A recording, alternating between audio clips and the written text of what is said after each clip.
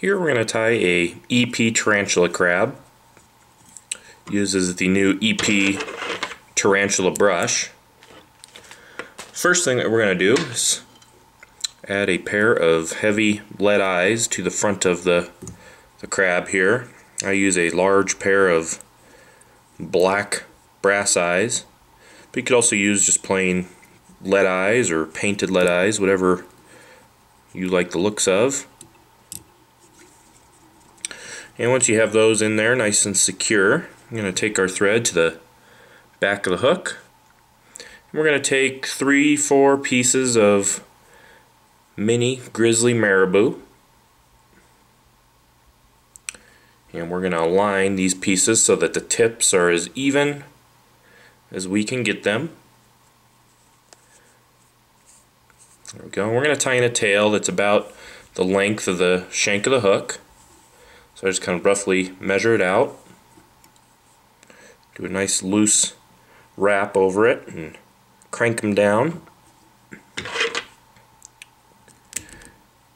Then you could trim out the excess. Lock it down nice and tight.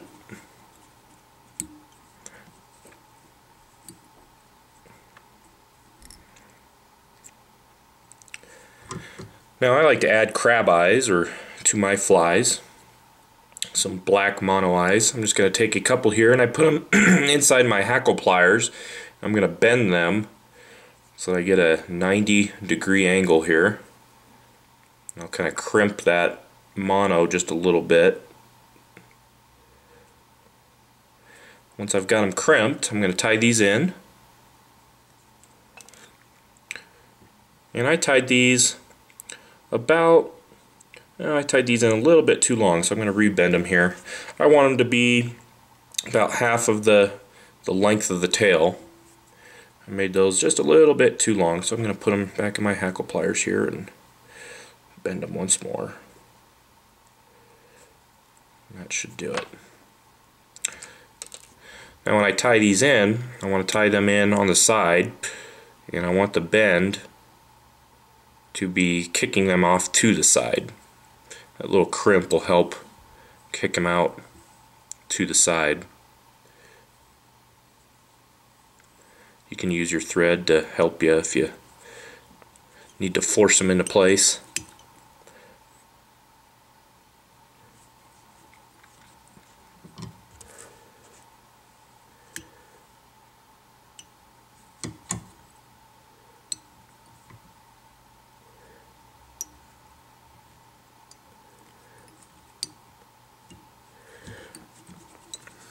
Then you could wrap your mono forward. You can double it back over if it makes you feel better so they don't pull out.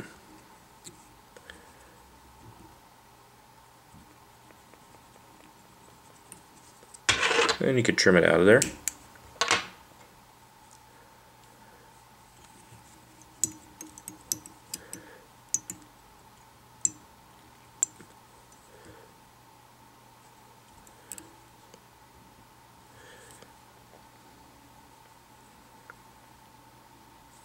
And you can crimp these a little bit more if they still don't want to kick out to the side. There we go. Now we're ready to tie in the EP brush. I'm going to use just a tan colored EP brush. Uh, you want to make sure you use the one inch wide EP brush for uh, this fly. This is the wider version of it. We're just going to tie this in right at the, the back of the fly here take our thread forward all the way to right behind those lead eyes. And then we're just going to take this EP brush.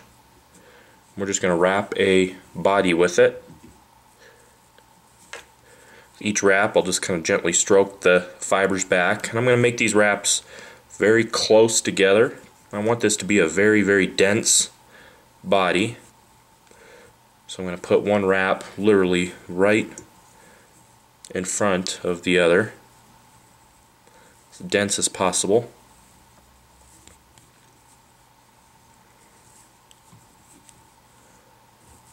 You'll see why we're doing that here in a minute. And I can usually get about a half a brush per crab. Once I've got as many wraps as I can fit in there, I'm going to take my thread and just capture the the brush. Give it a few tight wraps.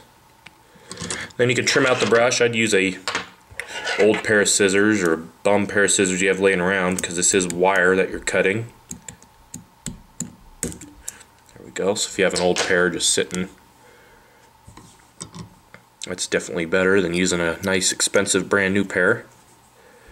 Then I'm just going to take my thread and lay down some nice tight wraps to finish it.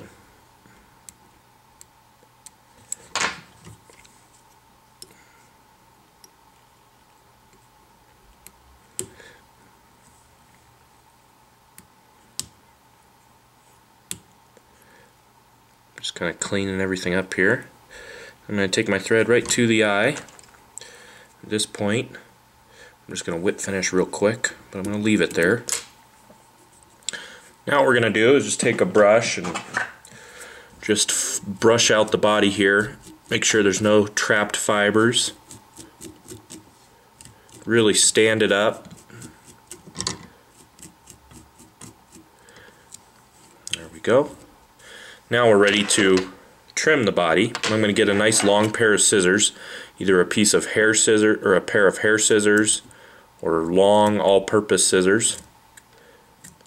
I'm going to trim the top of the fly first, nice and flat. I'm going to trim the bottom of the fly. Also nice and flat.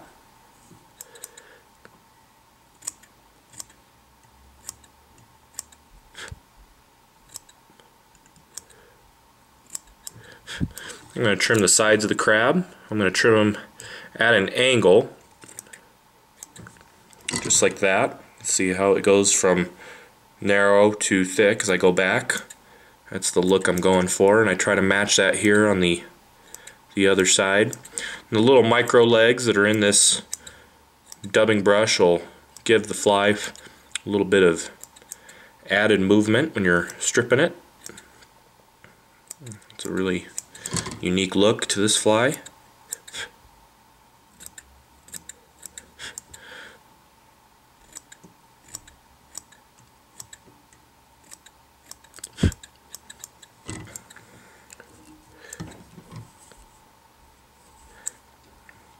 And you're pretty much done. The last thing I like to do to add to my crabs is I like to take a piece of monofilament and add a weed guard. This fly is fished on the bottom, so having a weed guard is fairly important.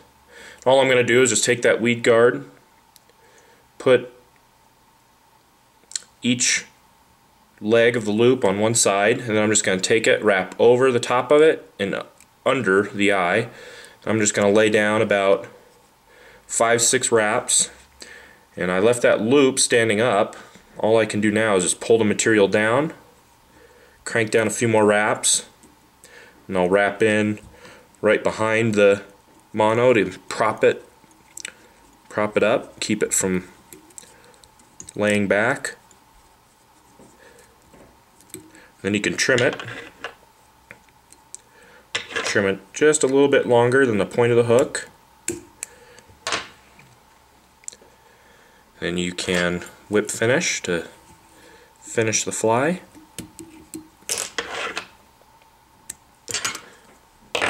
And I like to add a little bit of super glue to my fly to keep it from falling apart. All I'm going to do is just add some super glue to the weed guard to underneath the eyes, fairly generous, and right on top of the eyes as well.